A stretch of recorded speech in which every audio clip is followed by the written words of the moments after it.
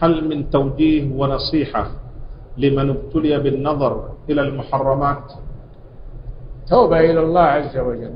لا يتمادى في النظر إلى ما حرم الله عليه أن يتوب. قل للمؤمنين يغضوا من أبصارهم ويحفظوا فروجهم. ذلك أزكى لهم.